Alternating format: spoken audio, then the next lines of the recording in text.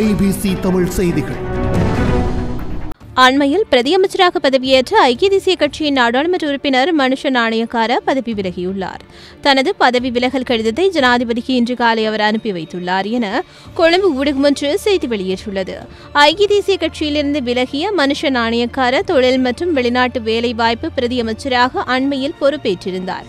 இந்நிலையில் தனது பதவியை துறந்துள்ள மனுஷ நாணயக்கார அலரி மாளிகைக்கு சென்று ரணில் விக்ரமசிங்கவை சந்தித்து ஆதரவு தெரிவித்துள்ளார்.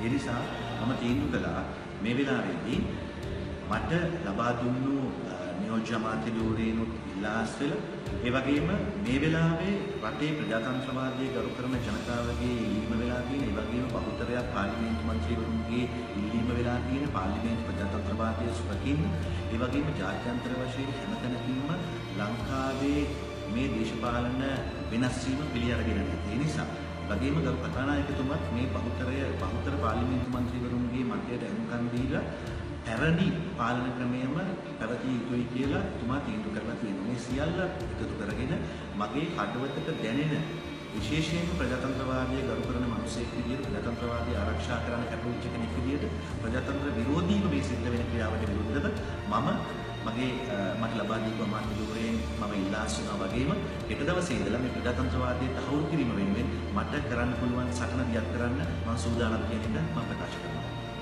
இந்த மாதிரி நிறைய வீடியோஸ்க்காக ஐபிசி தமிழை சப்ஸ்கிரைப் பண்ணுங்க நாங்க போடுற ஒவ்வொரு வீடியோவையும் நீங்க மிஸ் பண்ணாம பார்க்கணுமா அப்போ கீழே இருக்க பெல் பட்டனை மறக்காம கிளிக் பண்ணுங்க